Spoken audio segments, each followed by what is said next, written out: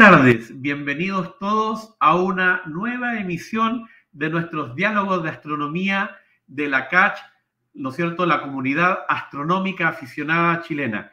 Como siempre a mí me ha gustado decir, este es como el Netflix de, de la divulgación astronómica en Chile, porque ya estamos en la segunda temporada, nuestro capítulo número 9. Estamos muy contentos, felices de estar en una nueva emisión y particularmente me voy a dar el gusto de eh, conducir este programa porque hay un invitado, pero de otro nivel, realmente un invitado de lujo. No quiero decir que los otros invitados que hayamos tenido o los que vienen en el futuro no lo sean. Lo que pasa es que este invitado para mí tiene eh, un, un, sentimiento especial, eh, así es que, y como lo dije por ahí, ¿no es cierto?, en las redes, estamos con un invitado de verdad eh, de lujo. Primero que nada, saludar a toda la gente que se conecta regularmente a nuestros diálogos de astronomía eh, desde todo el mundo. Hoy eh, saludos ahí desde San Fernando para Jaime Núñez.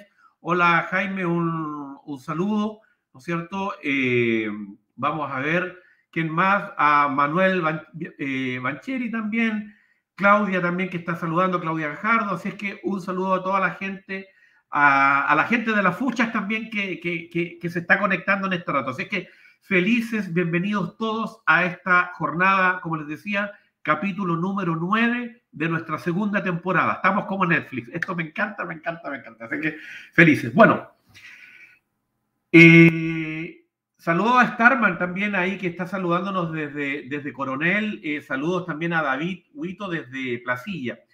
Antes de comenzar, eh, quiero recordarles que la CACH viene con una cantidad de eventos y actividades para ustedes felices. Y uno de ellos es el que se nos viene con el campamento lunar. No se me vayan a olvidar de ese tremendo evento yo los dejo atentos, solamente les estoy dando una calujita, una, pastillita chiquitita, un mordisco de entrada, porque va a haber eh, una cantidad de actividades, talleres en nuestro campamento lunar que no se lo pueden perder. Así que atentos a las redes, atentos a la página, a los canales de la CACH, para que sepan todos los detalles, la programación del campamento lunar. Hay unos invitados para hablar de, de, de, de Selene, del gran amor ¿no es cierto?, eh, de la luna. Así es que atentos, atentos de verdad al campamento lunar para que hagan la inscripción y todo el tema, porque es con inscripción. Así es que, y en el mes de um, agosto, el, la próxima, el próximo diálogo de astronomía, también voy a tener la suerte de estar ahí, pero voy a estar acompañado con mi querida amiga Lacari, eh, que va a ser sobre un tema que siempre apasiona, que siempre gusta y que tiene que ver con astrofotografía pero vamos a tener de invitados a dos astrofotógrafos internacionales. Así es que nos van a contar su técnica, cómo trabajan. Así que los invito a ese diálogo de astronomía. Es el último sábado de agosto, ¿ya? Así es que eh, atentos también a ese programón que se viene, atentos a las redes y todo el tema. Bien, eh, vamos a ver. Voy a, quise aprenderme la biografía de nuestro invitado me la, me la, me la, quise, me la quise aprender de memoria, eh, pero nuestro, nuestro invitado de hoy tiene... Eh, ah, yo no sabía que no podía. Eh, pero dije poquito, dije poquito. Nuestro invitado tiene un currículum que es increíblemente espectacular. Entonces no puedo aprendérmelo de memoria, entonces lo voy a tener que leer, ya, eh, porque eh, es tan extenso que no tengo opción de leerlo. Quise aprendérmelo de memoria, pero imposible. Bueno, nuestro querido amigo de hoy, nuestro invitado, que ustedes ya saben quién es, es el doctor, el astrofísico, ¿no es cierto?, chileno, don Mario Amoy Wackenhat, nacido en la ciudad de Santiago un 25 de marzo del año, del año 1960, profesor de astronomía eh, en la Universidad de Chile, ¿no es cierto? director del observatorio, fue, fue director del observatorio de Cerro Calán, eh, presidente de la Fundación Chilena de Astronomía, eh, una institución a la cual yo también pertenezco y que quiero mucho. Eh, su objeto de estudio como astrónomo, como astrofísico, fue, eh, él ha estudiado las supernovas del tipo 1A y las supernovas número de 2, ¿no es cierto? Vicepresidente y jefe de la misión de los observatorios de la Asociación de Universidades para la Investigación en Astronomía de Estados Unidos, ahora en Chile, ya actualmente es, jefe de la misión. Eh, en 1987, nuestro invitado llegó a Cerro Tololo, y ahí Mario me tiene que sacar de la duda, porque no me acuerdo si fue justo después de su llegada o días antes de su llegada, había explotado la supernova 1987A, ¿no es cierto?, en la gran nube de Magallanes y que tal vez ha sido una de las supernovas más importantes en la historia de Mario. Ah, esa supernova yo diría que a Mario le marcó un antes y un después en su carrera. Ya, eh, así que Mario nos va a contar si esa explosión fue antes de su llegada o fue días después de que, él, no, había llegado a, Tololo. Y eso gatilló el famoso proyecto de estudio, el conocido proyecto Calantololo, ¿no es cierto? Que eh, sentó las bases y fue muy importante para después el premio Nobel del año 2011, eh, ¿no es cierto? Eh, asociado al, tema de la expansión del, universo. Es el chileno que tiene el orgullo de tener un asteroide con su apellido. Háganse eso. ¿ah? Un asteroide con su apellido. ¿Cuántos chilenos podrían decir que tienen un asteroide que fue bautizado con su apellido? Premio Nacional de Ciencias Exact de Ciencias eh, el año 2015 en Chile. Yo tuve la suerte de conocer a Mario ese año, justo el año que Mario había recibido ese premio. Eh, si es que queda tiempo al final, voy a contar la anécdota de cuando conocí a Mario, porque para mí también fue un día súper importante. Tenemos una anécdota ahí con Mario. Miembro también de la Academia Chilena de Ciencias, fue presidente del CONICIT y fue el asesor científico de la presidencia, que fue lo que, digamos, sentó las bases para la creación del Ministerio de Ciencia y Tecnología. Ese es un resumen corto, traté de resumirlo porque podríamos estar hasta mañana hablando del tremendo currículum de nuestro querido astrónomo, astrofísico chileno, don Mario Amoy Wackenhardt. Y tengo el honor también de, o, el orgullo de decir que, que, es un amigo personal, autor de uno de los libros más lindos que se ha escrito sobre eclipses, el Sol Negro de Mario Muy, y este otro libro, ¿no es cierto? el universo en expansión también, que había salido un poco antes que, el de los eclipses, y donde tuve el honor eh, de ser invitado por Mario a participar en estos dos libros con un par de fotografías mías. Así que yo feliz. Eh, tengo a mi amigo Paul en, en, controles, así que, señor director, démosle por favor, ponga fanfarrias, aplausos, todo para la invitación a nuestro invitado. Ahí está en pantalla don Mario Amuy. Hola Mario, bienvenido, ¿cómo estás? Muy bien, Alexis, ¿cómo estás tú? Muy, muy bien. Felices de estar iniciando, de, tenerte aquí de, de, invitado a nuestros diálogos de astronomía de la CACH. Muchas gracias por la invitación extendida por la comunidad de astronomía aficionada de Chile. La verdad es que es un agrado reencontrarme con ustedes. Si mal no recuerdo, la última vez que que eh, estuvimos hablando de astronomía fue en Vicuña, en el año 2020, comienzo del 2020.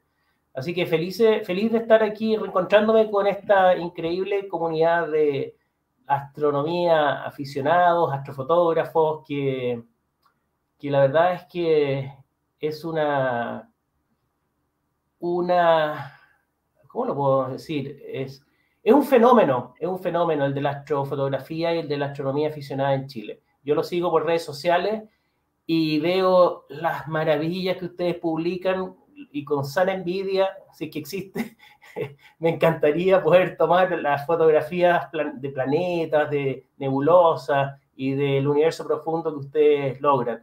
Eh, increíble, así que felicitarlos a ustedes por esa perseverancia y ese gran, gran nivel de arte y ciencia que, han alcanzado. No, gracias a ti, Mario, por las palabras. La verdad es que eh, la, la CACH lo que hace es tratar de acercar la astronomía a la gente, eh, a la gente no científica, porque conocemos del interés, y no solo en astrofotografía, hacemos eh, difusión de astronomía, eh, hemos tenido invitados profesores que han hablado de la importancia de la astronomía en la malla, en, los planes de estudios de los chicos en los colegios, hacemos difusión, digamos, de temas científicos, astrofotografía, astroturismo, eh, entonces, para nosotros también es súper importante contar con, gente como tú, ¿no es cierto?, que nos ayuda en esto de, poder acercar la astronomía, más aún en nuestro país, con el capital de cielo que, tenemos, ¿no? Así es que, Mario, yo estaba leyendo tu, currículum y me olvidé de decir, eh, dije una cosa que me gustaría tener esa precisión, pero también no la dije, pero me acabo de acordar. Quienes no sepan, don Mario Muy pudo haber sido nuestro Chino Ríos anterior al Chino Ríos. Mario es un tenista, pero excepcional. Así es que, y nadie conoce ese lado oculto de Mario. Mario fue, se dedicó, Mario no te dedicaste profesionalmente, pero estuviste en tu, en tu época, digamos, de, de, estudiante, jugaste harto tenis, ¿no?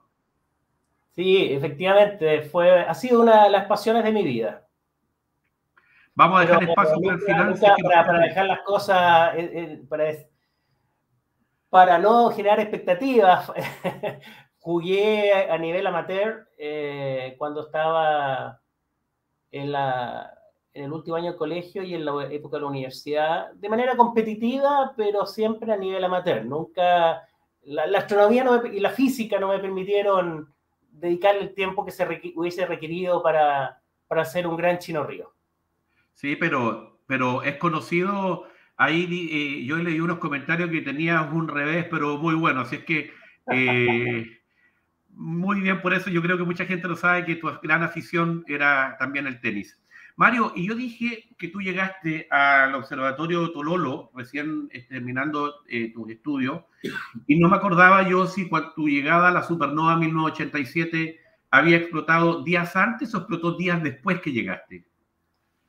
Dos días antes de mi llegada a Tololo, la supernova explotó el 24 de febrero eh, y yo llegué a trabajar en la mañana del 27 de febrero a las oficinas de La Serena del observatorio del observatorio eh, Tololo.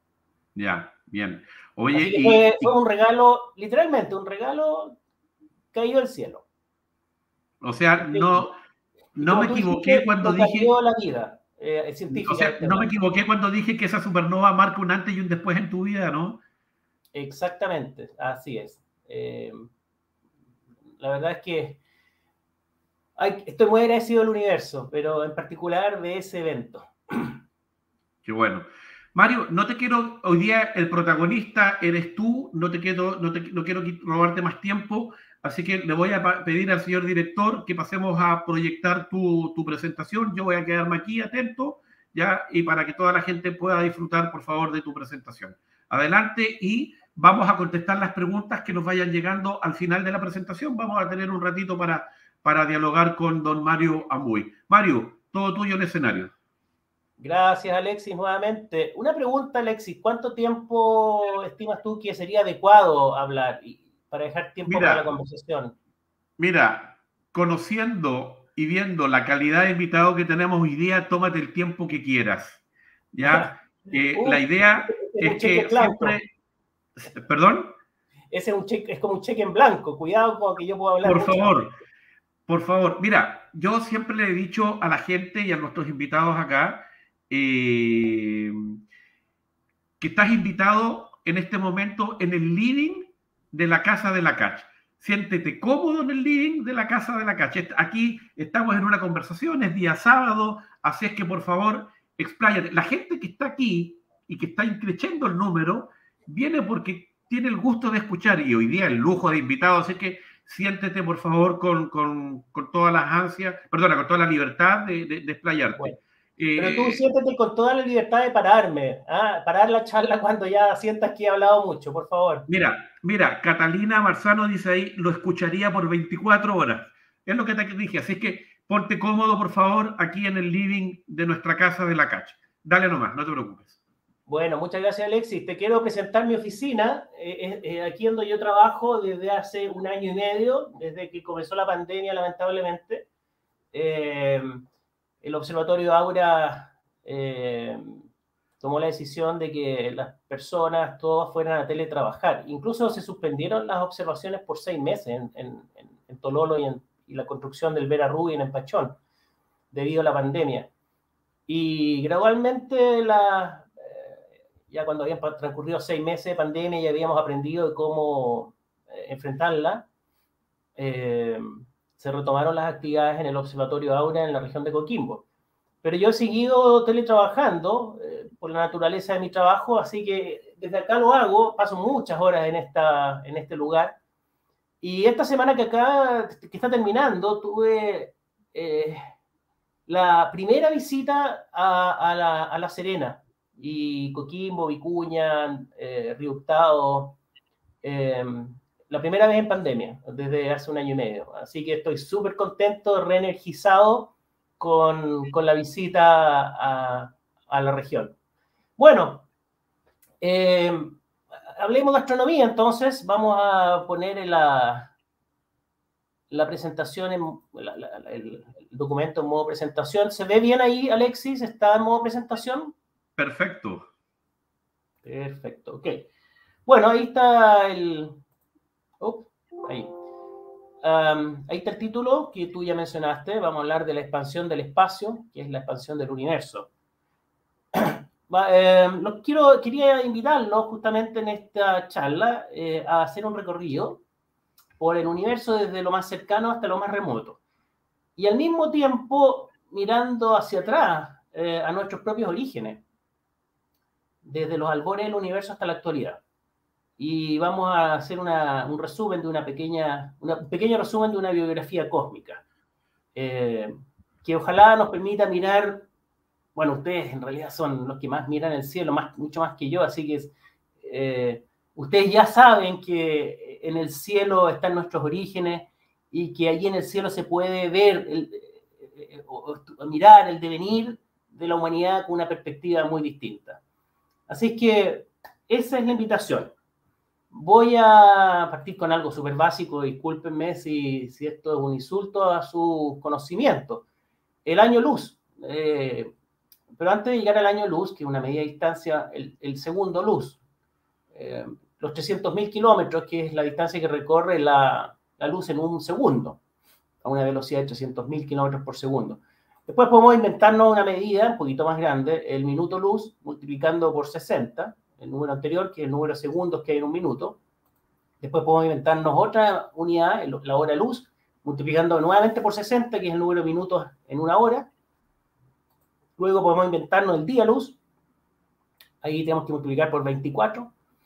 Y para llegar al año luz, multiplicamos por 365 y llegamos a esta, esta cifra difícil de pronunciar serían algo así como 9,4 eh, son billones de kilómetros, 9,4 billones de kilómetros. Ese es el año luz, una medida de distancia, no de tiempo. Eh, el objeto más, el cuerpo, el cuerpo celeste más cercano a la Tierra está a 380.000 kilómetros en promedio de la Tierra, y eso corresponde en estas unidades que acabo de presentar un poquito más de un segundo luz.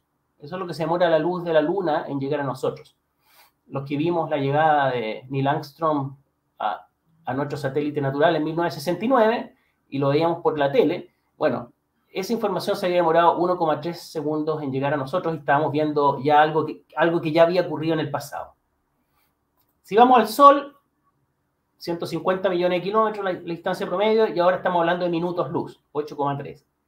Cuando vemos la puesta de sol, obviamente estamos viendo algo que ocurrió hace 8 minutos. Cuando vamos a la estrella más cercana, al Sol, estamos hablando de 4,2 años luz. Eh, me refiero a Alfa Centauro, cerquita de la Cruz del Sur, ustedes la conocen súper bien, es muy brillante la noche. Si uno reduce el tamaño de Alfa Centauri y el Sol de una pelota de básquetbol o de fútbol, la distancia que los separaría, en vez de 4,2 años luz, eh, sería de 10.000 kilómetros. O sea, una pelota de fútbol en, Antofagasta, en el estadio de Antofagasta, y una pelota de fútbol en, ¿qué podría ser? Madrid, algo así más o menos. Así de vacío el espacio.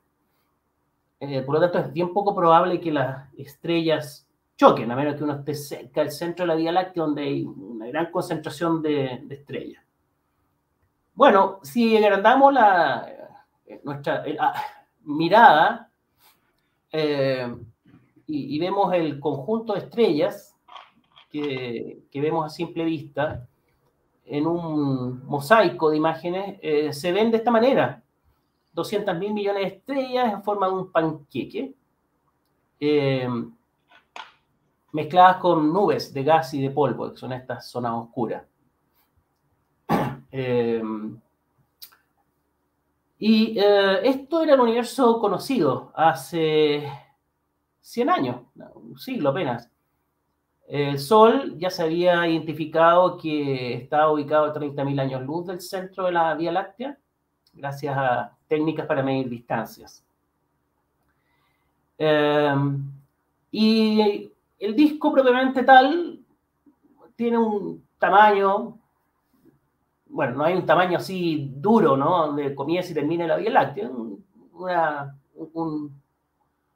una, gradual una gradual disminución del brillo y del número de estrellas, y podríamos asignarle un valor de unos 100.000 años luz al diámetro de este disco o este panqueque.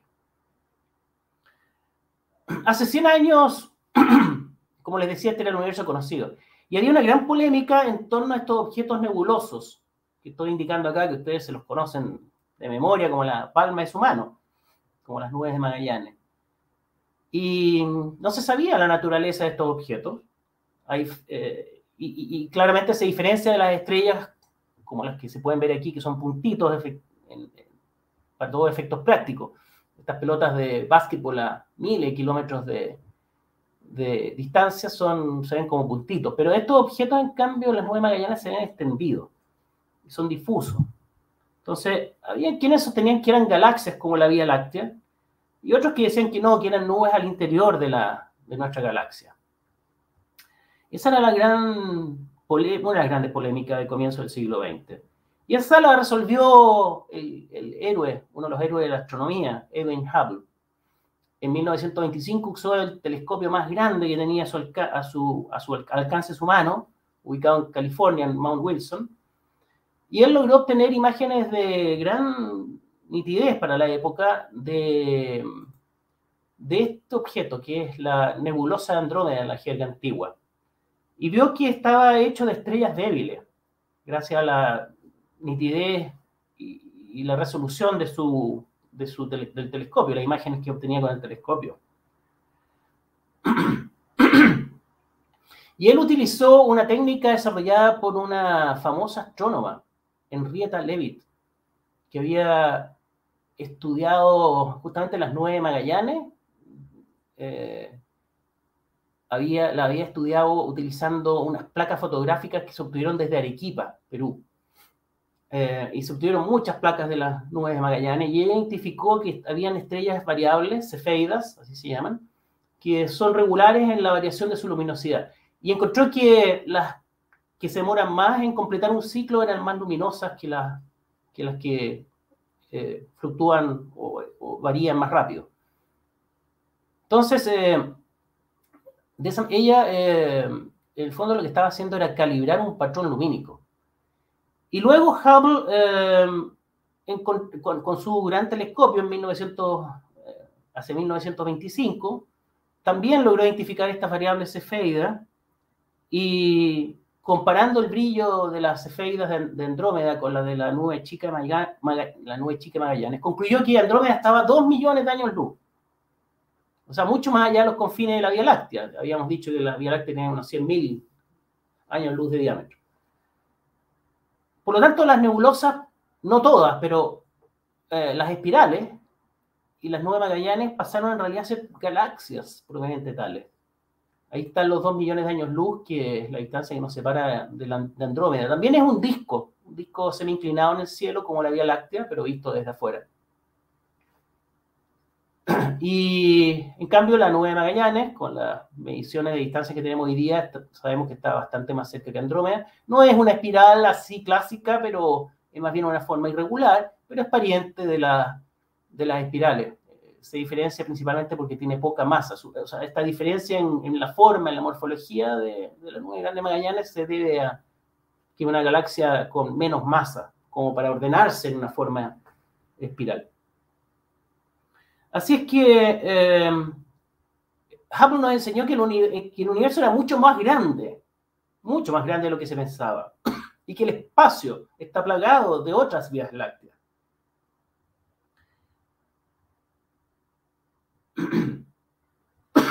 Perdón, que estoy un poquito con un poquito de tos.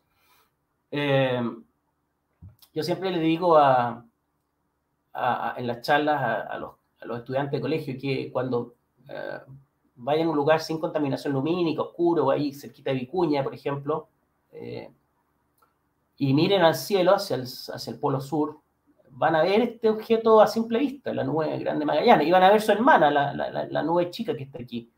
Y lo pueden ver a simple vista, y yo les digo emocionense, porque en realidad están viendo estrellas de otras galaxias a simple vista, sin la ayuda de un telescopio.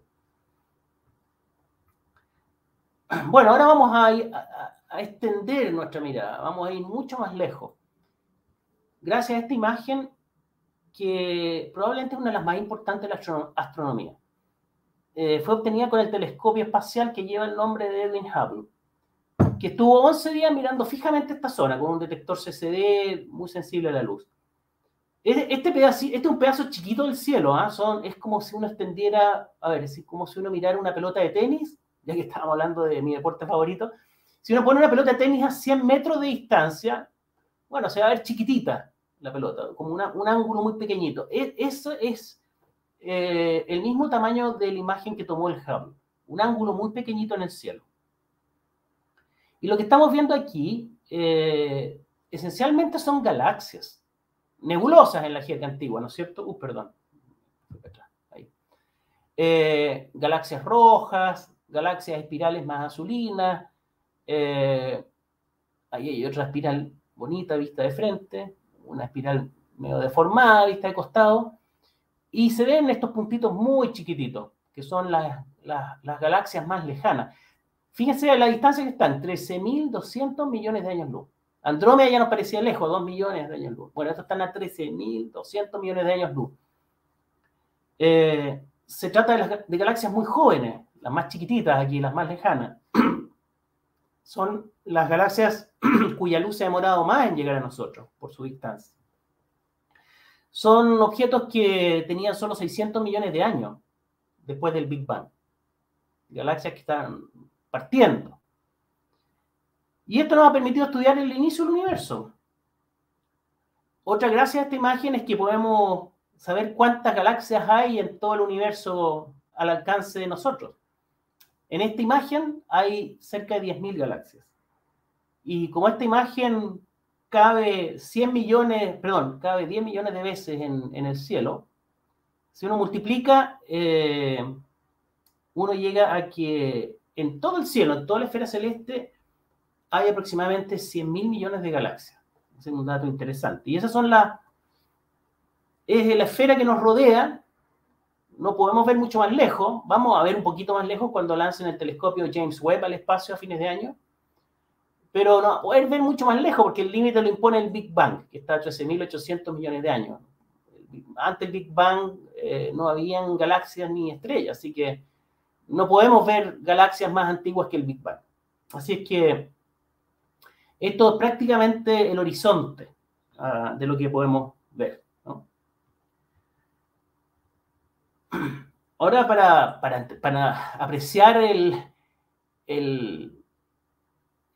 la, riqueza que hay en el cielo, en un lugar aparentemente, en un, en un angulito tan chiquitito, aparentemente sin estrellas, voy a echar a correr este video, miren. Este, esta es la imagen tomada por el Hubble. Y si uno se aleja, aparece nuestra amiga la Luna. Y se está transformando prácticamente en un puntito, lo que yo le decía, una pelota de tenis lejos, allá a 100 metros de distancia. Y en ese puntito prácticamente aparentemente insignificante, hay una riqueza enorme, enorme de, galaxias. Bueno, ahora veamos esta imagen de una galaxia espiral como la nuestra, parecida a la Vía Láctea, está vista desde afuera, desde nuestra perspectiva, y aquí estamos viendo el disco, eh, completamente de frente. Y tal como ustedes lo pueden ver, esto está girando, ¿no? Y lo hace tan rápido que la fuerza de gravedad que generan las propias estrellas de la galaxia, eh, no podría mantener juntas a, las estrellas. Ya habrían salido volando por el espacio. Esto significa que debe haber más masa para generar esa gravedad adicional que se necesita para mantener a la galaxia intacta, que no se desarme. Y esta materia extraña es lo que se denomina materia oscura algo así como el pegamento invisible, ¿no? De las galaxias. Sabemos que está allí, no lo vemos, pero sabemos que está allí, si no esta galaxia ya se habría desarmado por su alta rotación. Tal como indica su nombre, la materia oscura no emite luz ni absorbe luz, pero su presencia se lata por la rotación que le imprime a la galaxia. Hoy sabemos que la materia oscura forma este gigantesco halo eh, alrededor del disco, que superan seis veces la materia común que forma las estrellas y los planetas y nuestros cuerpos. Así que surge la pregunta, ¿qué es la energía, la, perdón, la materia oscura? Una posibilidad es que se trate de partículas elementales, así como los quarks, los electrones, los neutrinos, que son algunas de las 17 partículas que conforman eh, la parte material del universo. Eh, se ha intentado encontrar esta partícula hipotética en este lugar, en este acelerador de partículas, que es el más potente construido, el colisionador de hadrones, que está ahí en... Tiene, es un anillo subterráneo de 27 kilómetros de diámetro, subterráneo entre la frontera, en la frontera entre Suiza y Francia. y a pesar del, tremendo desarrollo tecnológico y potencia, este acelerador de partículas, en donde, en donde se hacen chocar haces de, partículas a, la velocidad de la luz eh, y se rompen las partículas para ver de qué están hechas. A pesar de estos esfuerzos, aún no se ha descubierto la hipotética partícula de la materia oscura. Así que sigue siendo eso un buen misterio. Y las sorpresas del universo no se iban a detener allí hace casi un siglo, dos astrónomos, uno que ya mencioné, que es Edwin Hubble, y el otro es el sacerdote belga Georges Lemaitre, eh, de manera independiente, encontraron que la mayoría de las nebulosas en la jerga antigua, pero que ahora son galaxias espirales, estas cuatro que estoy mostrando aquí, arriba, en realidad tenían enormes velocidades de alejamiento de la Vía Láctea. Y con esta observación de las velocidades de las galaxias, se había descubierto nada menos que la expansión del universo. Toda una revolución cosmológica que cambió nuestra manera de entender el universo.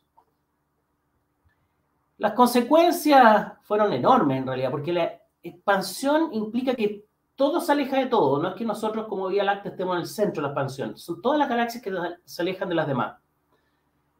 Por lo tanto, si uno remonta el tiempo hacia atrás, en un ejercicio mental, bueno, las galaxias estaban más cerca en el pasado y más cerca aún si retrocedemos más el tiempo. Y en algún momento especial, todo ese gigantesco universo de 13.000 y tantos millones de años luz de radio eh, estaba en un volumen muy pequeñito, muy, muy pequeño, aquí abajo, ahí toda la masa, toda la energía de lo que iban a ser después las estrellas, las galaxias, estaban concentrados ahí. Es una idea súper extraña en realidad,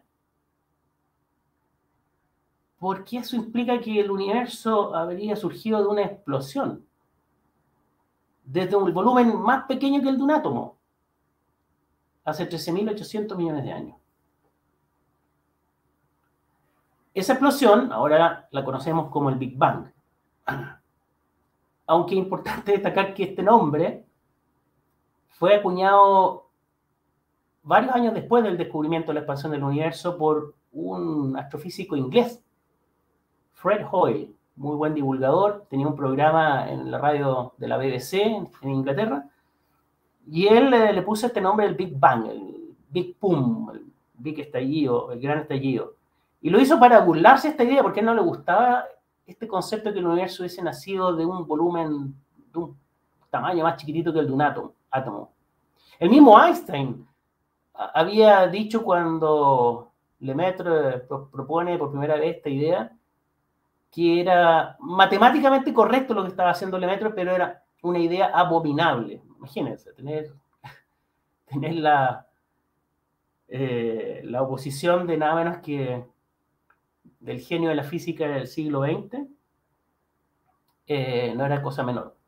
Bueno, Lemaitre siguió adelante, perseveró y lo mismo hizo Hubble, y juntando, reuniendo los datos que estaban disponibles eh, a la época, comienzo del siglo XX, década de los 20, eh, esta idea se fue consolidando gradualmente. Y hoy día el Big Bang es una teoría ampliamente aceptada por los científicos. No, significa que sea la última verdad. La verdad científica está siempre en construcción, así que podríamos encontrarnos con bonitas sorpresas. Bueno, esto de la expansión del universo no era todo.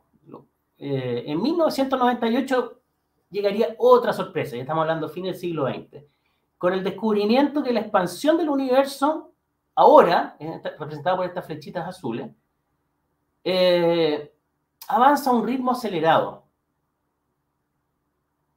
No solo se expande el universo, sino que cada vez lo hace más rápido.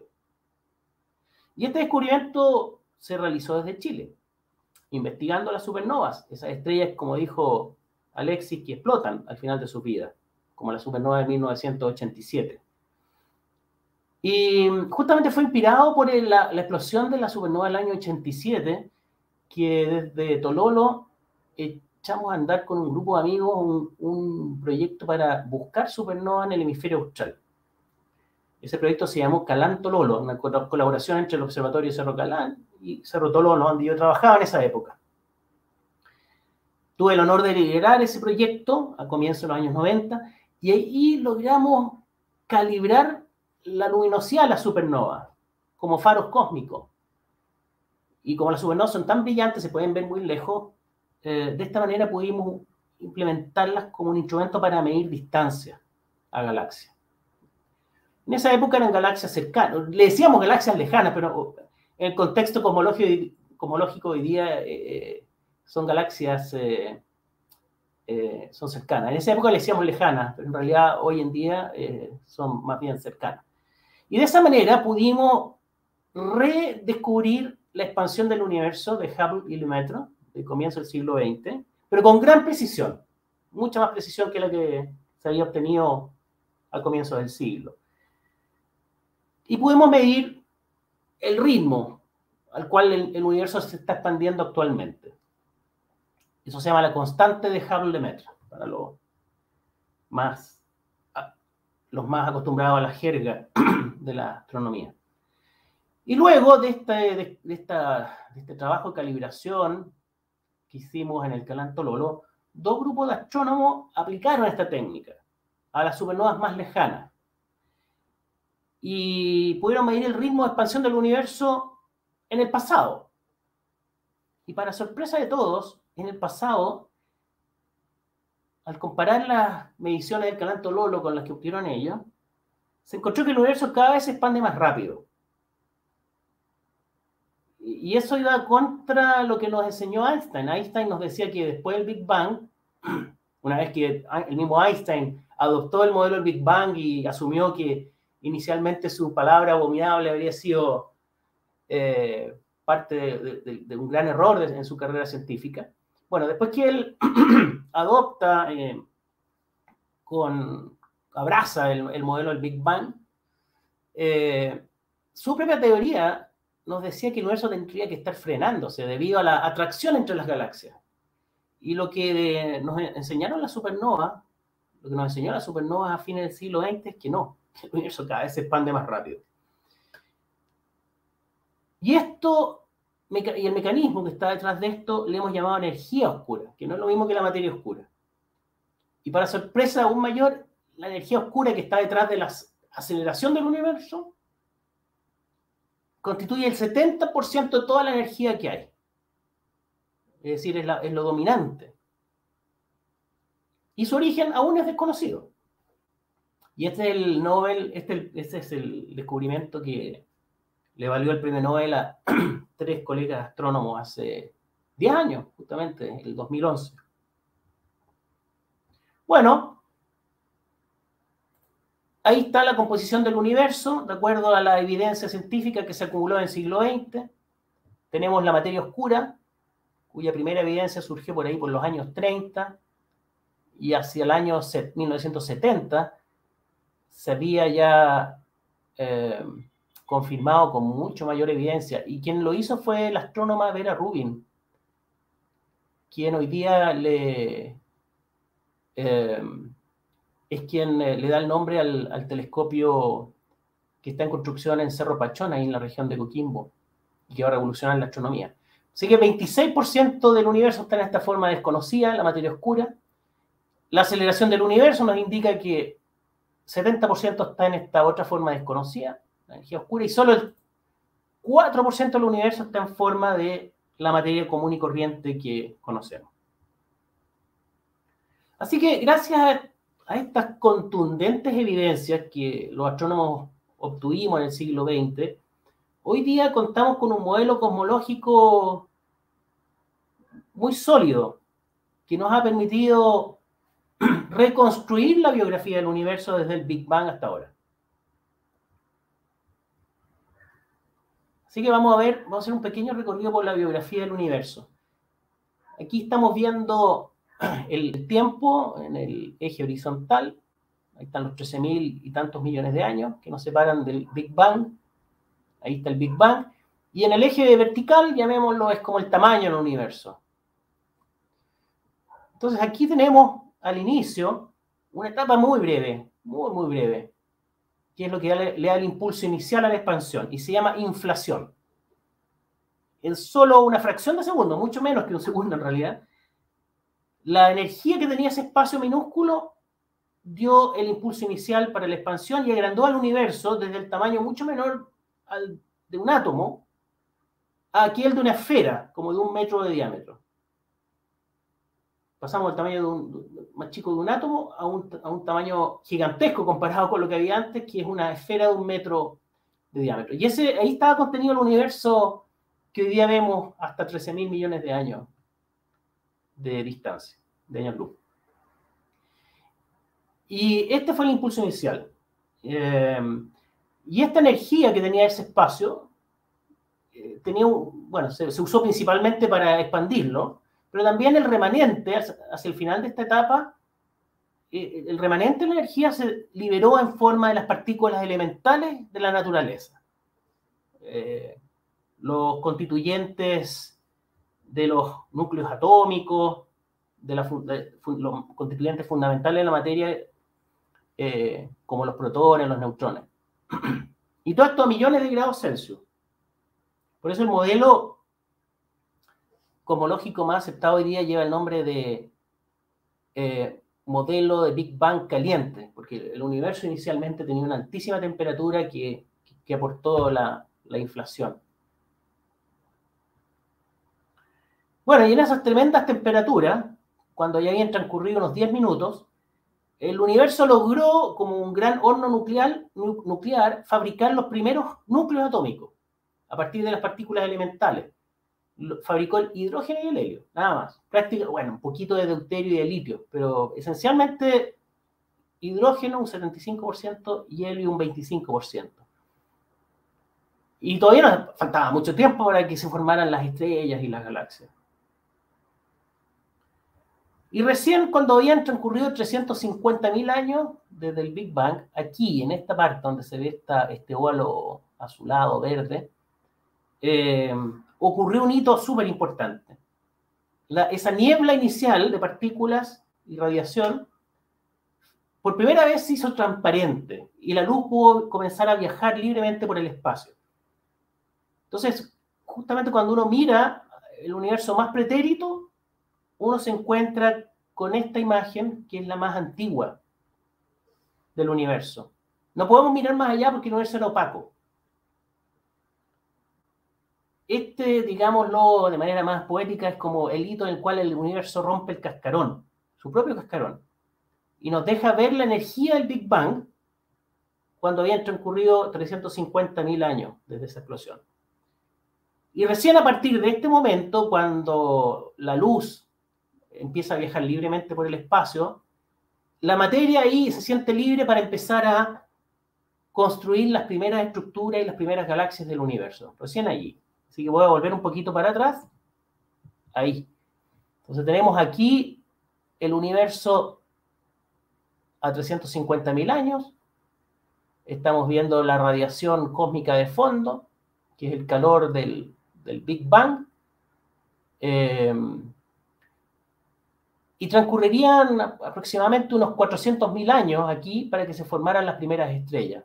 Hay una edad oscura ahí, eh, en que no, todavía no brillaba la, materia.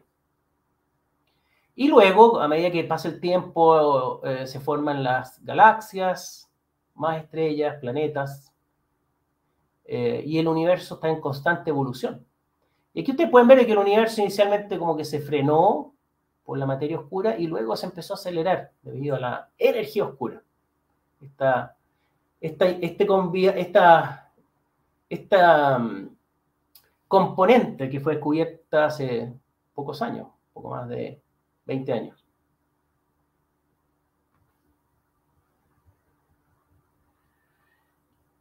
Eh, aquí, como le decía, el fondo de radiación cósmico. Eh, lo que se ve aquí en, realidad es radiación, no hay estrellas ni galaxias. Los puntitos rojos son un poquito más fríos que los puntos azules. Perdón, los puntos rojos son un poquito más calientes que los puntos azules.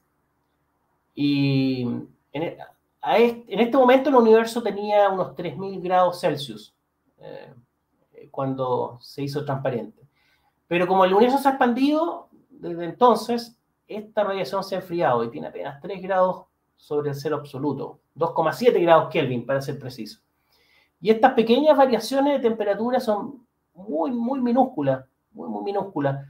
Es como una parte en 100.000. Así de pequeñas son. Es decir, la diferencia entre los puntos rojos y azules son diferencias de temperatura pequeñísimas. Pero afortunadamente estaban allí presentes en, el fondo de radiación cósmica porque justamente las zonas rojas, que son las más densas, donde hay más temperatura y hay mayor densidad de material, son las que van a dar lugar más tarde a las galaxias.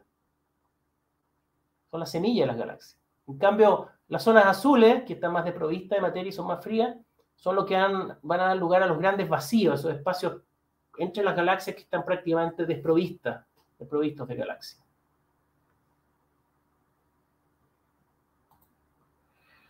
Bueno, aquí vemos un ejemplo de una, de una de las primeras galaxias espirales que se, está, que, se que se estaba formando en ese universo temprano. Habían transcurrido unos 300 millones de años desde el Big Bang. Y aquí se puede ver en esta galaxia espiral en formación las primeras estrellas. Esto es lo que se conoce como el amanecer cósmico. Y esto ocurrió al interior de cada galaxia donde la materia común y corriente, el helio, el, hidrógeno, formó las primeras estrellas. Esos elementos venían cocinados de los primeros minutos del Big Bang. Así que, y este proceso fue, este proceso de ver esta galaxia en formación, fue recientemente observado por el Observatorio ALMA y liberado, eh, hecho público. Es la galaxia espiral más antigua descubierta hasta la fecha. Y la Vía Láctea, nuestra galaxia, donde vivimos, también es una galaxia espiral que nació en esa misma época, unos pocos cientos de millones de años después del Big Bang. Y probablemente pasó por un proceso similar al que, al que observó Alma eh, eh, recientemente. Y bueno, aquí vemos la explosión de una estrella, mis amigas, las supernovas. Esta es una galaxia espiral en donde una sola estrella, miren lo que hace, en unos pocos meses brilla tanto como una galaxia completa. Realmente es lo que no, es una gran cantidad de energía que es liberada al espacio. Las supernovas son como los chefs cósmicos. Utiliza el material primordial de hidrógeno y helio y lo usa como combustible para fabricar elementos químicos más complejos, como el oxígeno, el carbono, el calcio, el hierro. Y tras algunos millones de años de evolución, las estrellas más masivas eh, explotan como supernova y van incorporando estos nuevos elementos químicos al espacio inter, interestelar. Aquí podemos ver, eh, que me deja bajar, ahí sí. Aquí podemos ver justamente el remanente de una supernova que ocurrió en nuestra galaxia hace mil años. Se llama la nebulosa del cangrejo. Esta fue una supernova que observaron los chinos, los antiguos chinos, eh, en el año 1054. Y hoy día eh, se ve como los gases que expulsó la supernova se van propagando por el espacio. Y este gas, que es rico en esos elementos químicos nuevos, se mezclan con las nubes originales de, primordiales de hidrógeno y helio. Y con esta mezcla enriquecida se forma una nueva generación de estrellas que continúa con este ciclo de enriquecimiento químico.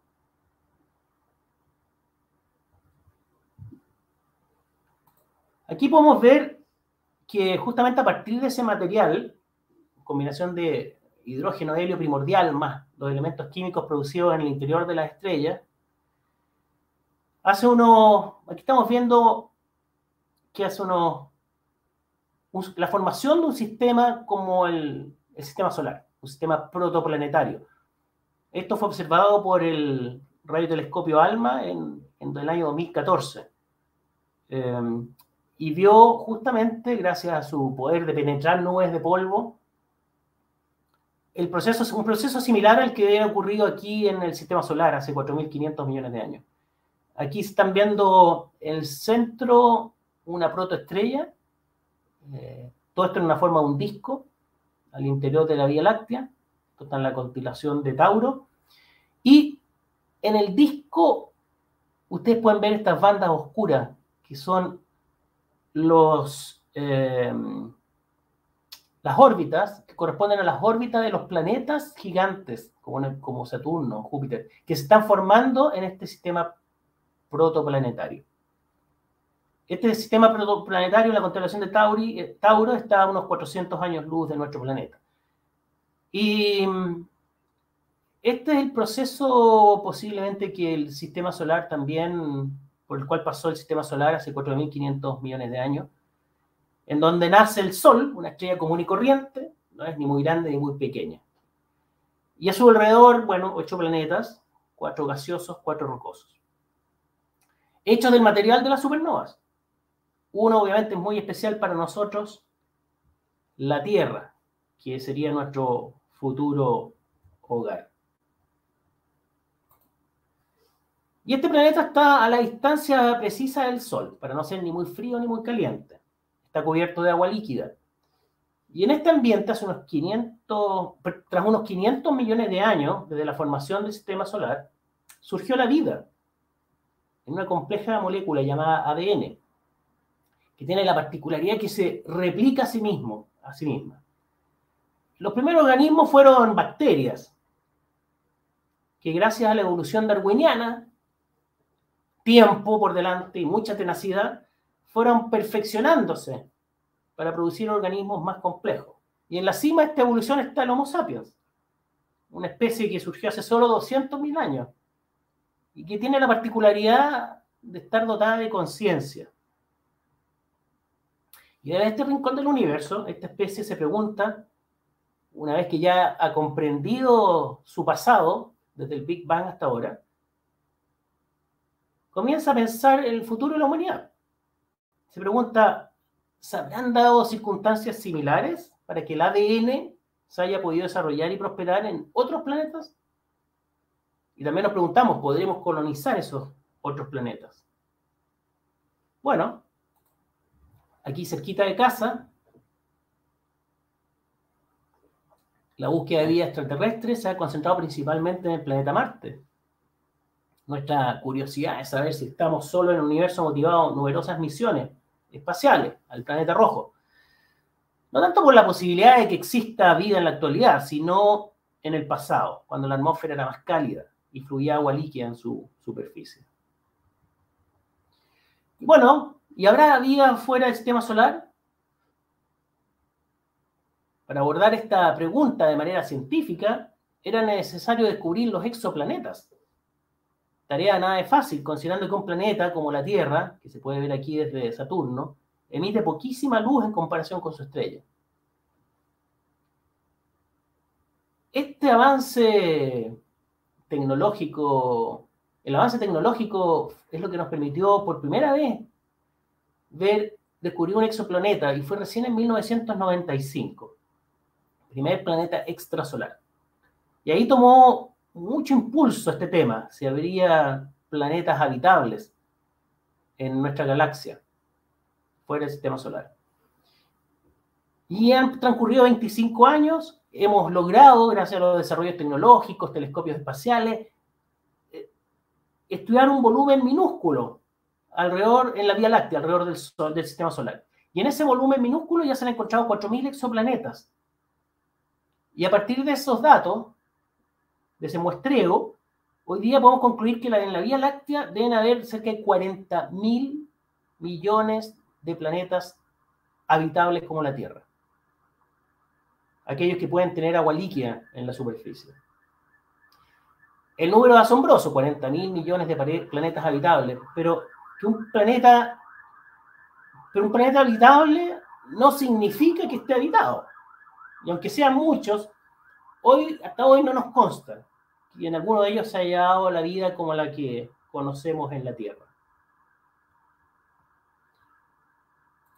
Pero eso no significa que no exista, se haya desarrollado la vida, cosa de seguir buscando.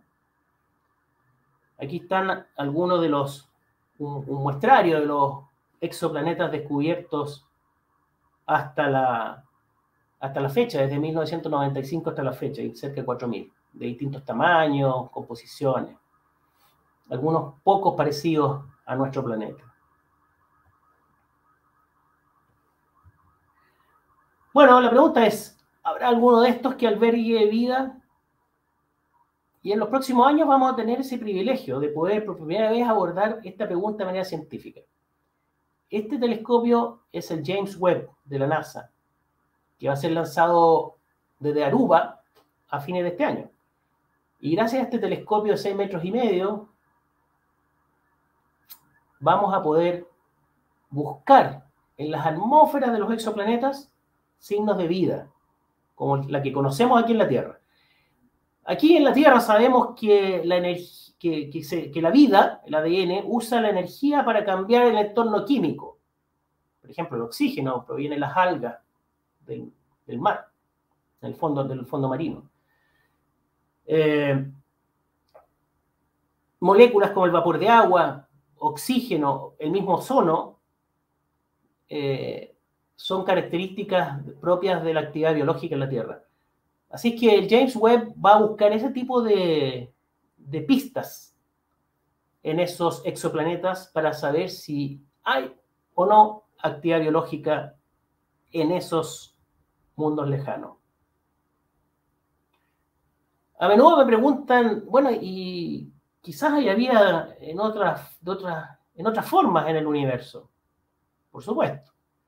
Pero no tenemos idea de cómo podría ser esa vida, esa forma de vida.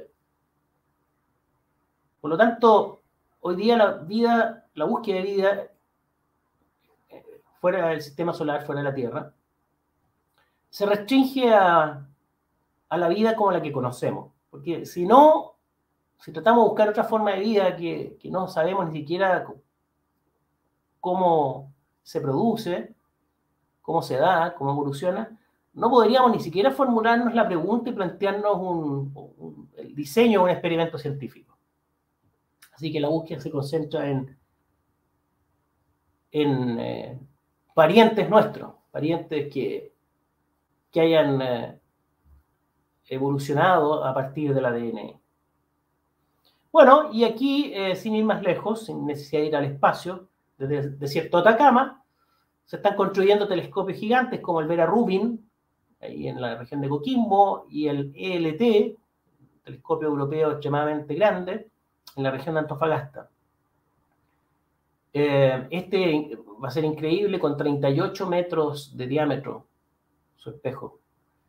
Este, el Vera Rubin, tiene 8,4 metros de diámetro en, su espejo pero principal, pero la gran gracia que tiene el Vera Rubin es el campo de visión, es como un gran angular. Eh, que, nos va a permitir tomar una fotografía panorámica en el hemisferio austral en solo tres días y con super resolución. Este tipo de instrumentos van a permitir a las futuras generaciones de astrónomos chilenos participar de esta aventura fascinante. Averiguar si existe el planeta B como el nuestro o concluir que estamos solos en el universo. Así que la naturaleza, como ven, nos ha puesto a nuestro país en una situación de privilegio al regalarnos, regalarnos los cielos más transparentes del planeta para el estudio del universo.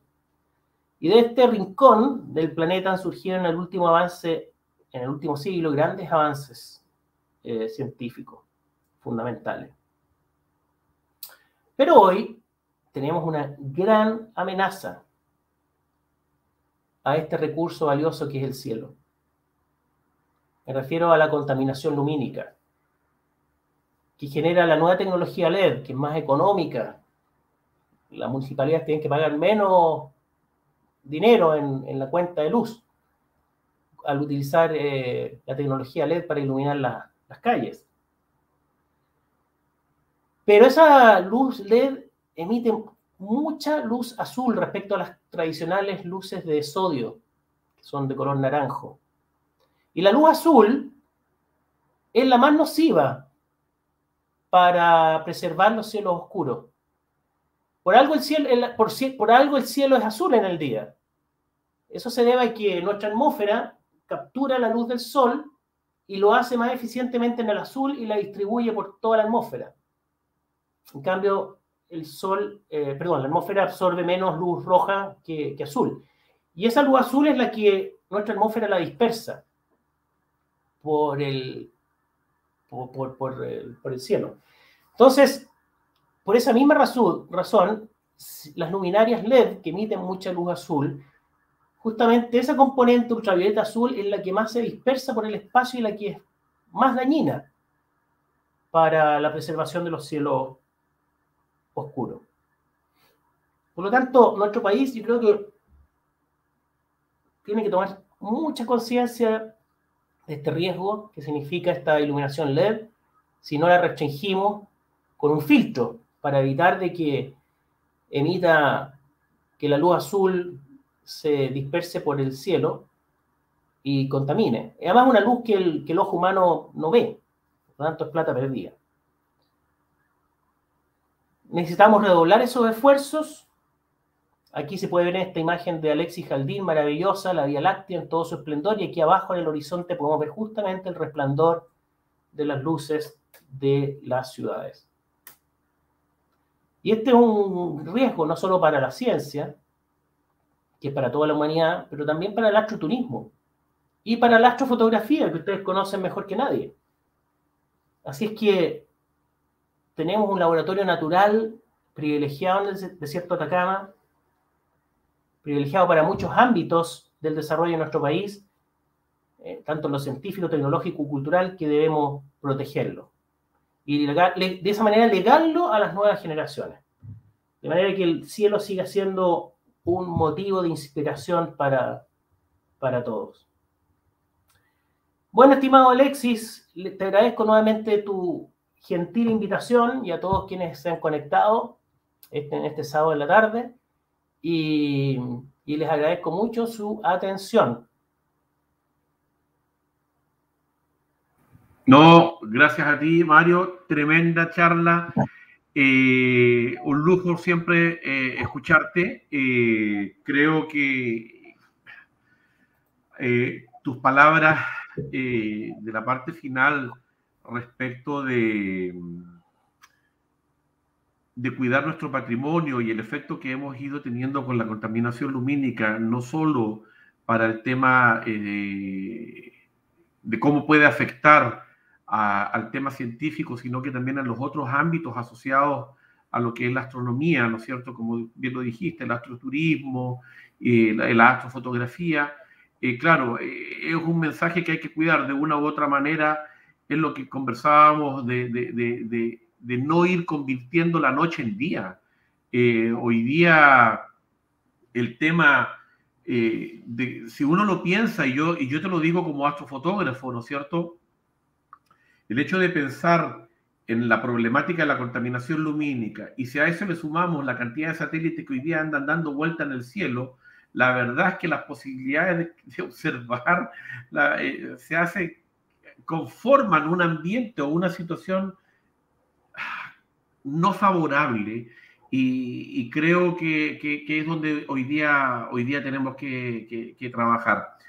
Mario, eh, han llegado varias preguntas. Yo voy a ir eh, haciendo, seleccionando algunas, ¿te parece?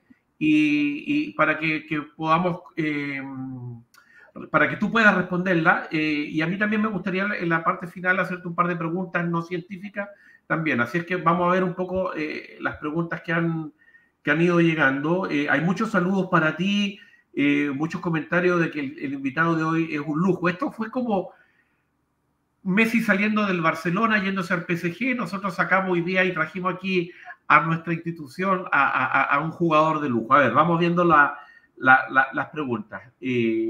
Canon Lucas pregunta, después de que el James Webb logre observar hasta el límite del horizonte del Big Bang, ¿cuál será el objeto a estudiar de la cosmología?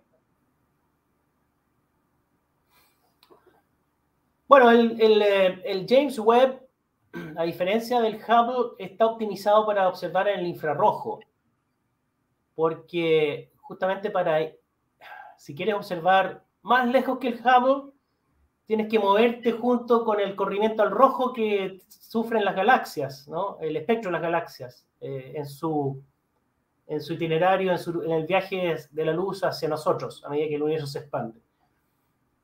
Entonces, eh, el James Webb va como a la casa de, esos espectros que se mueven hacia el rojo.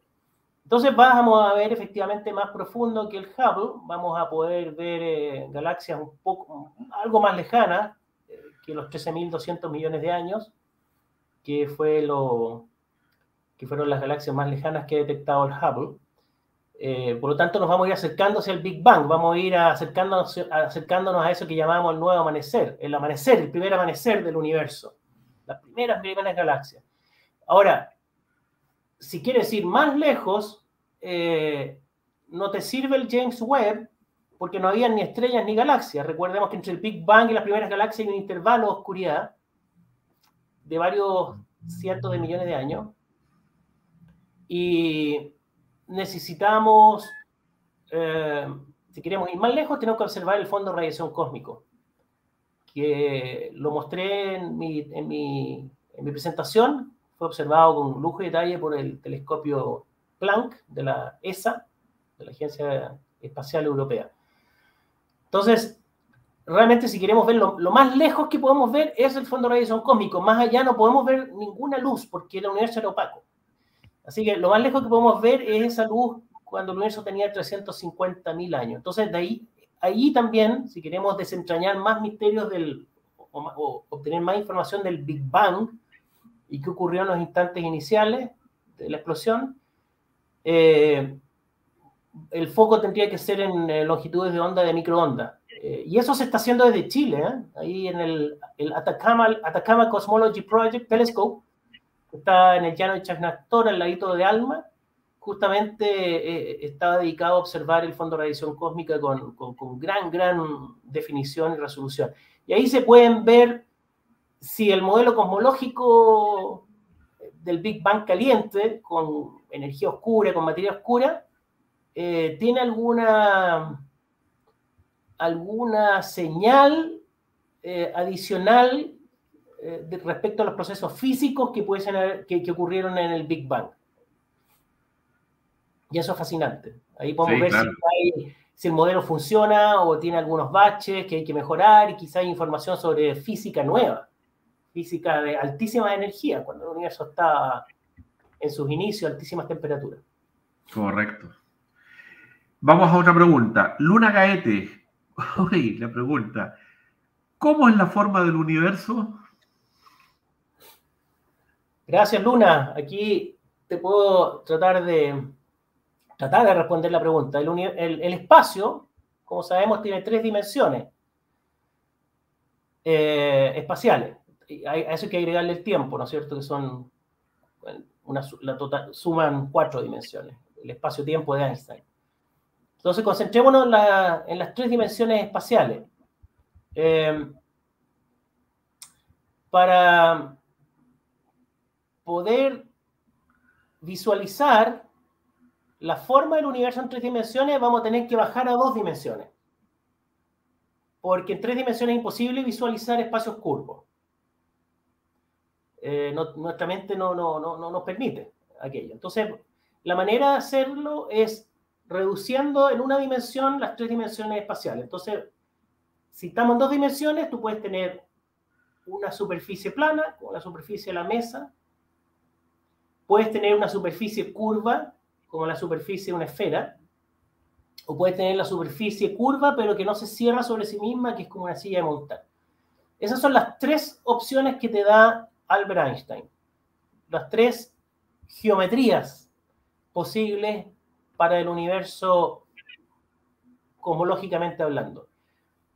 Entonces, eh, eso mismo, esas mismas curvaturas que pueden aplicar en, en, una dirección o en otro sentido, o ser planos sin curvatura, también aplican a las tres dimensiones en donde vivimos. Pero claro, no, no, no, no te las puedo, no te puedo ayudar mucho eh, imaginándote un espacio en tres dimensiones curvo, pero la teoría y las matemáticas te lo permiten.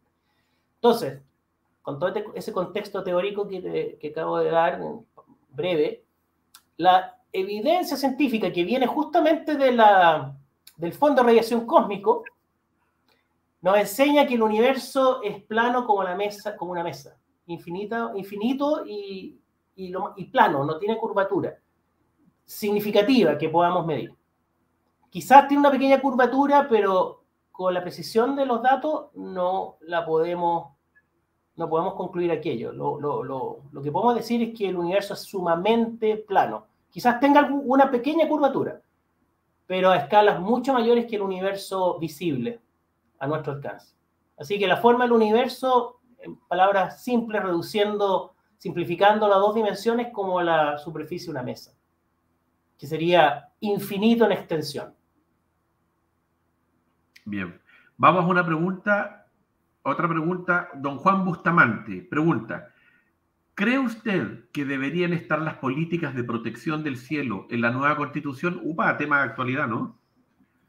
Sí, interesante. Eh, yo creo que en la constitución hay que elevar el tema de la protección del medio ambiente en general y dejarlo con letras mayúsculas eh, en el sentido más amplio. Y ahí, por supuesto, que la protección de los cielos oscuros pasa a ser parte de esa protección más amplia al medio ambiente.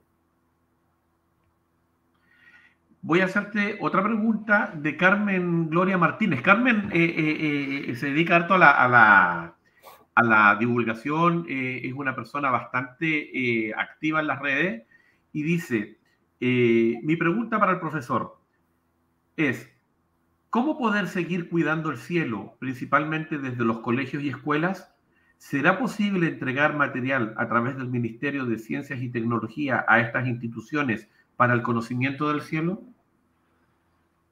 Mira, yo creo que creo que la esperanza de, poder preservar los cielos oscuros está en los niños y niñas. Eh, si es que hoy día hay conciencia conciencia sobre la importancia del medio ambiente, es porque los niños tomaron esa agenda y le enseñaron a sus padres desde el colegio que eh, nuestra sustento, nuestra sostenibilidad de la raza humana en nuestro planeta está en riesgo. Entonces, siguiendo esa misma lógica, yo creo que son, debemos poner los esfuerzos en las escuelas, desde chiquititos, para eh, que cada uno de ellos se transforme en un guardián, un guardián de los cielos oscuros. Eh, hay una norma lumínica que está vigente, que es del año 2012, que es la que, es la que se va a actualizar este año. Está pronto a ser promulgada la nueva norma lumínica, que es más restrictiva, sobre todo en las regiones de Antofagasta hasta Coquimbo, que reduce justamente la cantidad, el porcentaje de luz ultravioleta que las luminarias pueden enviar, eh, emitir. Eh, eso lo menciono porque es un gran avance en cuanto a políticas públicas. Eh, pero no sacamos nada con tener una linda norma si es que no se fiscaliza. Y fiscalizar es súper difícil porque necesitaría muchos inspectores. Eh, entonces yo apelaría que no solo hay que, hay que formar inspectores y, que vayan a terreno a, identificar las infracciones a la norma lumínica, sino que apelaría a, a que cada uno de los ciudadanos y ciudadanas, porque en particular temas más chicos, eh, se transformen en los guardianes de los cielos oscuros. Mario, pero desde La ciencia eh, tiene, tiene toda la infraestructura y las capacidades para... Y el Ministerio del Medio Ambiente, ¿eh? el Ministerio del Medio Ambiente es el encargado de la norma lumínica. entonces es muy importante que todas las iniciativas de protección de los cielos oscuros se coordinen desde el Estado, eh, la Superintendencia de Medio Ambiente, que es la fiscalizadora, el ente fiscalizador responsable de, la norma, de que se cumpla la norma, y por supuesto los observatorios internacionales que están instalados en Chile también eh, estamos aportando eh, desde nuestras propias capacidades a educar, a educar sobre la importancia de los cielos oscuros. Y, nosotros desde el Observatorio Aura vamos a, hemos desplegado por la región de Coquimbo, con todos nuestros divulgadores, educadores, astrónomos y astrónomas, a, tener presencia en los colegios para tomar conciencia de esta amenaza. O sea, desde ese punto de vista, Mario, con esto último que acabas de decir eh, y, colgándome un poco también de lo que, del último comentario que hace Carmen Gloria Martínez, o sea, eh, yo te pregunto, dado el rol que está teniendo Chile desde el punto de vista de la astronomía, con la instalación de los nuevos telescopios, con el avance de la astronomía como tal, siendo Chile tal vez, y, yo no sé si es eso no un muy cliché decirlo, si, realmente somos la capital de la astronomía mundial, eh, pero es innegable el rol, digamos, que tenemos y es innegable el, protagonismo,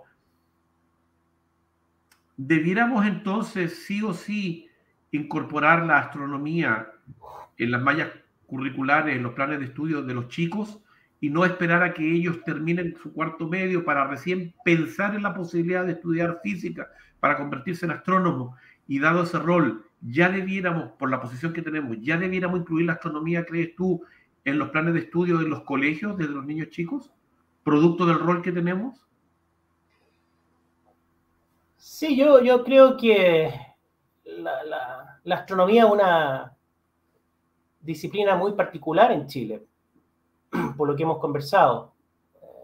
Por lo tanto, creo que se merece un espacio especial en, el currículum escolar. Eh, yo no soy experto para decirte quién es más importante, porque si, uno, si te digo, claro, dediquémosle la mitad del currículo de la astronomía me van a matar, porque es importante también que, lo, que las nuevas generaciones sepan de, de historia, filosofía, de arte, física, eh, educación física, en fin, es, muy importante que la formación de, nuestra, de las nuevas generaciones no se trate de, de no, trate de, llenarles la, cabeza de información a, los jóvenes, sino más bien de enseñarlos a, pensar. Y yo creo que ahí la ciencia nos obliga a pensar, a estrujar las neuronas ¿ah? para entender lo que es la curvatura del espacio en tres dimensiones. Eh, y, la física y la química y la filosofía nos obligan a pensar. Yo diría que deberíamos focalizarnos más bien hacia una enseñanza que, apunte hacia, hacia estrujar nuestras neuronas, eh, más que asimilar información. Sí, claro. Mario, para que sepas, nos están viendo desde Iquique, desde Melipilla, desde Venezuela nos están viendo en este rato.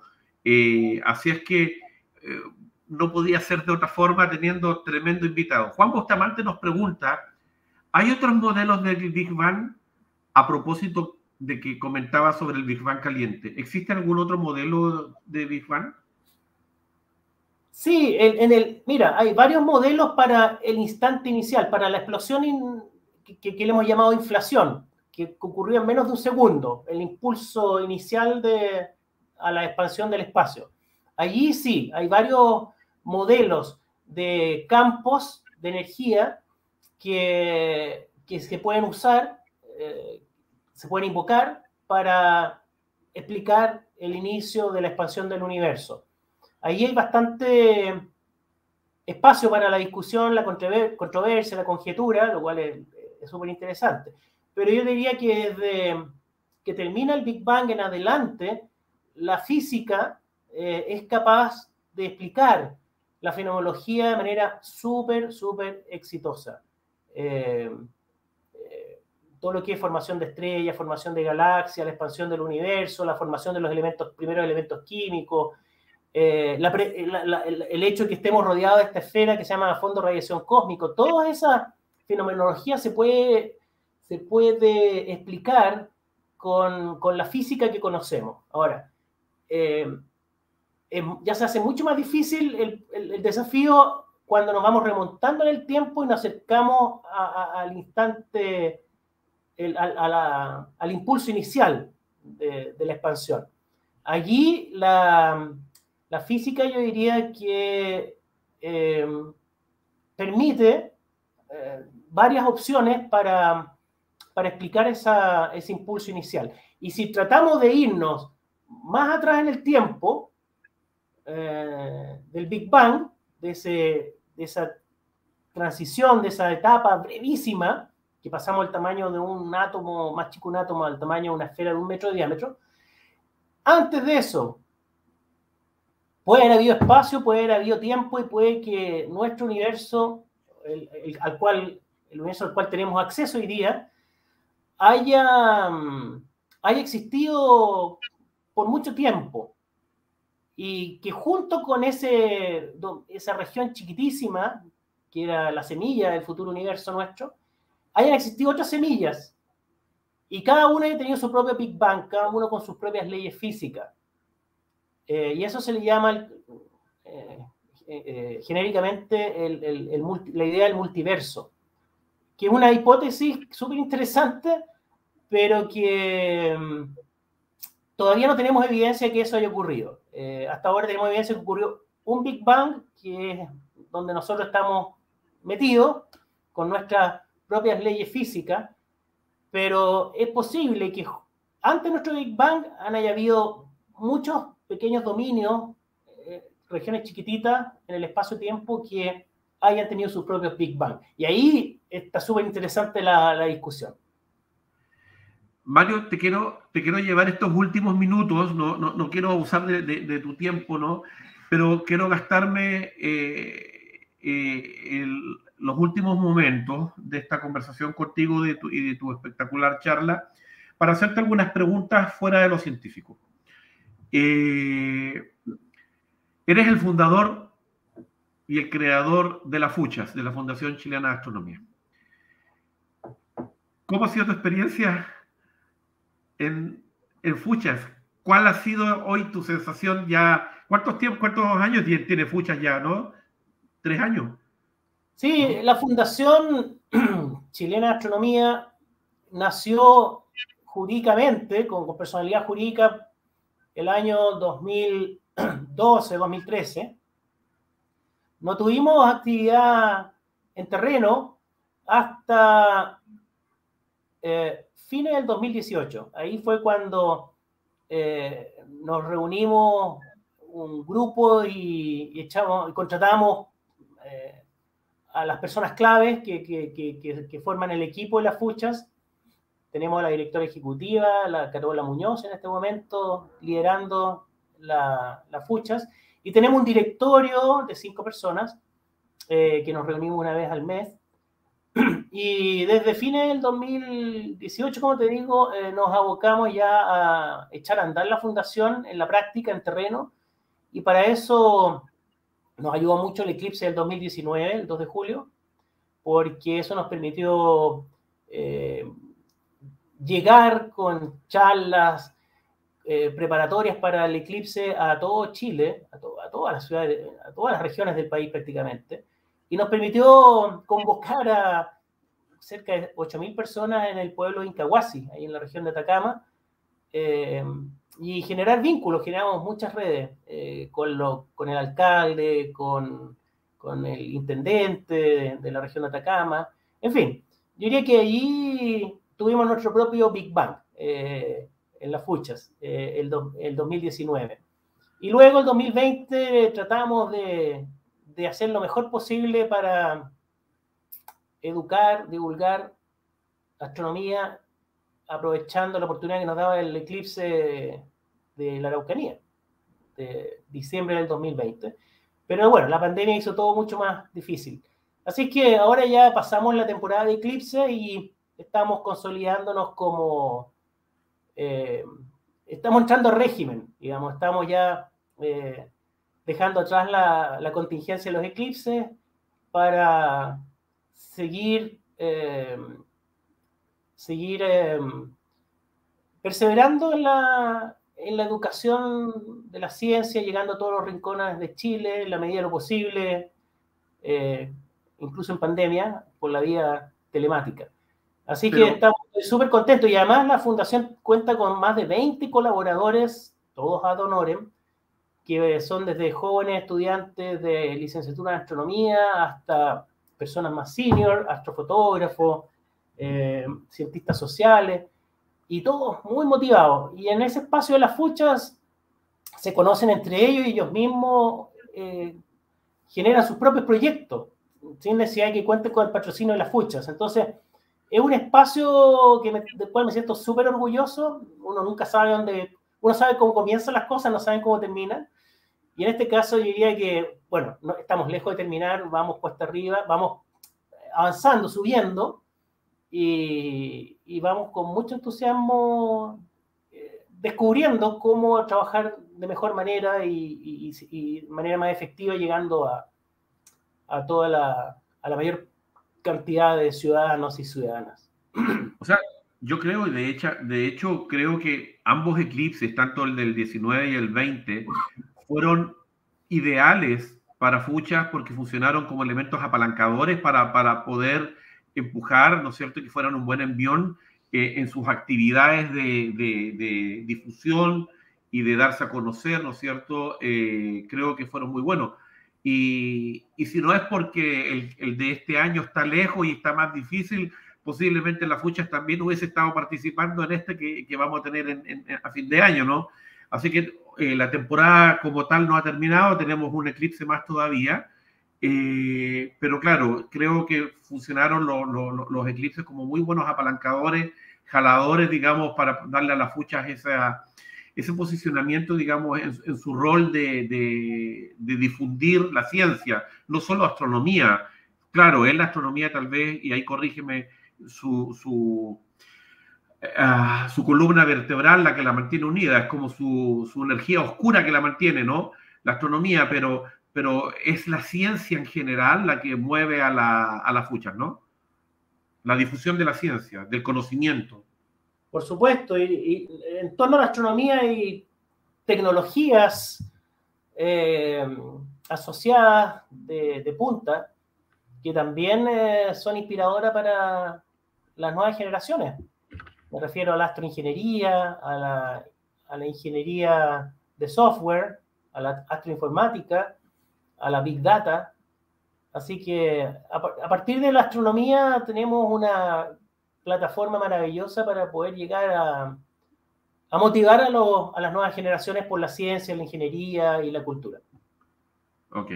Mario, los últimos minutos.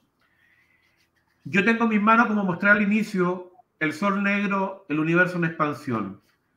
No sé si voy a cometer un error en preguntártelo, resérvate el derecho de responderme o no. ¿Hay algo en preparación más en literatura de autoría de Mario Muy? Mira, desde que eh, yo escribí el primer libro de divulgación junto a José Massa en el año Supernovas. 2008, por ahí, Supernovas, que lo tengo por acá, quedan muy poquitos ejemplares. Y tú sabes que eh, uno de esos está guardado, tú me comprometiste. Ahí está. Uno de esos está guardado. Sí, me quedan muy poquitos ejemplares porque eh, lamentablemente la editorial no lo, no lo siguió imprimiendo. Eh, eh, quedó muy bonito este libro. y desde que empecé a, a escribir, uno no para, uno le toma el gusto. Así que aunque uno no esté escribiendo, uno siempre está escribiendo. Y ahí estoy parafraseando a Pedro Lemebel que decía eso. Aunque uno no esté escribiendo, uno siempre está escribiendo. Eso es verdad. Es una de las gracias. Uno tiene, las ideas acá y en algún momento uno va a tomar la, pluma y va a empezar a, plasmarlo en papel. Sí, una de las gracias de, tu, de tus libros es, y sobre todo eh, es ese contar anécdotas muy, muy entretenido que, que le, le genera esa que para mí es como el vagón que te permite eh, de una manera muy amena llevarte ese vagón, llevarte a través de lo que, de lo que el, autor quiere contar, ¿no es cierto? Eh, creo que, no sé cuál ha sido tu experiencia, pero me pareció que, es una fórmula muy buena. Eh, a mí me tiene muy contento, me han elogiado mucho por esa innovación en la manera de, de escribir, que es alternar una historia personal, una anécdota personal con un contenido científico. Y mm, no lo pude hacer en el libro El Sol Negro eh, sobre los eclipses porque estábamos contra el tiempo, había que publicarlo antes del 2 de julio del 2019. Pero sí, eh, pretendo seguir perseverando en esa modalidad. Espero que no se aburran los lectores con, con tanta historia nerd. Mira, acá dicen, en, los comentarios. Dicen, por favor, una reedición de Supernovas. Y voy a ir con la última consulta que dice Jaime Núñez, que eh, dice, por favor, preguntar la posibilidad de apertura a visitar nuevamente los observatorios. Gracias y un mm. saludo a don Mario desde Astronomía San Fernando. ¿Cómo, cómo, cómo ves tú, Mario, la posibilidad de que ya lo, de a poquito los observatorios han ido retomando su actividad normal? Eh, pero eh, desconozco cómo, y no sé si tú tienes algo de información ¿Cómo se viene la posibilidad de nueva apertura ya para visitas eh, de los observatorios?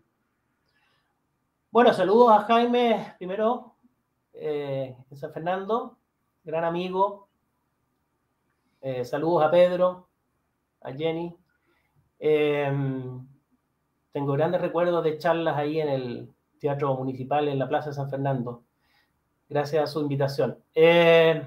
bueno, la, en Tololo tenemos un programa de visitas que, que tiene 50 años. Hemos recibido más de 100.000 visitantes en Cerro Tololo. Son, el observatorio se abre el día sábado, durante la mañana en un turno, en la tarde otro turno, y de esa manera hemos colaborado, contribuido a, la divulgación científica, acercar a las personas a la astronomía y a conocer estas instalaciones sumamente sofisticadas que están ahí en, en la región de Coquimbo. Eh, tenemos un programa más ambicioso todavía, que está escrito, está redactado, pero no podemos implementarlo hasta que, porque no queremos poner en riesgo la salud de las personas, ni la de los visitantes, ni de las personas que trabajan en los cerros. Imagínate si por, por una de esas malas suertes eh, se produjera un brote de, de, COVID en el cerro, tendríamos que cerrar la construcción de Rubin, eh, Tololo, sería, tendría tremendo consecuencias para el proyecto y para, para el devenir del observatorio. Entonces, por ahora estamos, eh, estamos operando de manera muy cautelosa, con equipos mínimos y con muchos resguardos para prevenir la, el contagio de, COVID en el cerro. Entonces, por ejemplo, yo estuve esta semana, eh, eh, invité al ministro de Ciencia y a su equipo a, a conocer Rubin, y es la primera vez en un año y medio que recibíamos visitas. Lo hicimos tomando todas las medidas de seguridad. Incluso nos, tuvimos que hacer el test de antígeno antes de ingresar a, al edificio del Vera Rubin para asegurarnos que, que no, de, no poner en riesgo la, la, salud de nadie. Así es que, pucha, yo quisiera, soy más interesado en, en, en abrir las puertas del observatorio para recibir visitas, visitas, pero hay que ir pasito a pasito en esto, aprendiéndose en la marcha y como los pasos de, un, de una guagua, ha sido un niño, digamos, que tiene que ir de a poquito tomando seguridad antes de lanzarse a correr. Mario, eh, no me queda más que agradecer que hayas aceptado la invitación de la CACH. Eh, ha sido realmente un lujo, como dijimos, eh, contar con tu presencia, con tu charla, con, tu conocimiento. Te lo agradezco en nombre de la CACH. Eh, así es que saludos a, todo tu equipo de la fundación, que eh, tengo también el agrado de, formar parte de ese equipo y así es que un saludo para, para todos ustedes. te lo agradezco en el alma eh, el haber estado acá y, bueno, te dejo abierto el micrófono para que puedas despedirte y mandar eh, mensaje a toda la gente que nos está viendo. Ahí Mario Campos, que es un destacado profesor que yo conozco, fue compañero mío hace poquito en el... Estuvo hace poco Mario también en un programa acá. Mario. Compañero mío en el diplomado, te manda saludos, dice saludos al profe desde Conchalí. Claudia Gajardo dice... Cristóbal Colón, muchos saludos Mario. Dice Claudia Gajardo, estimado profesor, tuve la oportunidad de escuchar una de sus charlas en Copiapó en el Centro Astronómico Andrómeda, de la cual soy miembro. En la oportunidad me dedicó unas palabras en su libro, el cual muestro con mucho orgullo. Eh, así es que, profe, te dejo, Mario, te dejo los micrófonos para que... Al director Juan de la Rosa. Exacto. Mario, te dejo el micrófono antes de que yo dé el cierre final, para tus últimas palabras, tu último mensaje a, la, afición que está conectada. Bueno, eh, Alexis, mil gracias por la invitación. Me encantó este espacio para, eh, para retomar eh, el contacto con, con una de mis pasiones, que es la divulgación científica, y hacerlo con una audiencia tan tan destacada, tan ilustre como son los astrónomos aficionados y los astrofotógrafos. Eh, estoy siempre disponible, Alexi, y a todos los amigos que están ahí eh, de, la CACH para compartir conocimientos o dialogar simplemente eh, en torno a una de mis pasiones, de mis grandes pasiones. Muchas gracias, Alexi. No, gracias a ti, Mario. Y a todos los colegas y amigos que están conectados, un saludo, muchas gracias por su conexión. Somos la CACH, síganos por favor, sigan a las Fuchas también, fuchas.cl, sigan a la CACH también, a la comunidad aficionada astronómica chilena. Y nos estamos viendo, no se olviden, a fin de mes en el próximo capítulo de nuestros diálogos, en el capítulo número 10, donde vamos a tener a dos astrofotógrafos internacionales que nos van a estar contando de su experiencia. Así es que eh, gracias a todos, que tengan un buen sábado, mejor domingo y nos estamos viendo y cielos despejados para todos. Muchas gracias, que estén bien, nos vemos en el próximo capítulo.